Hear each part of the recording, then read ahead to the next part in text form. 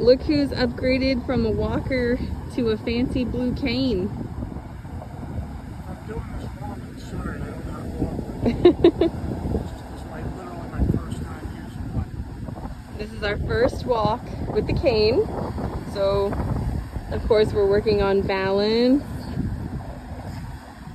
But you're doing really good. It's because you're pushing. You're definitely styling more with your cobalt blue. It's the same price as the black one. How you feeling? Scared because of you pushing me. Not so scary. Still weigh 180, 187.2. So weight's down. There we go. I just gotta get used to it. Alright, see if I can get it. All right, signing off because he's about to run me over.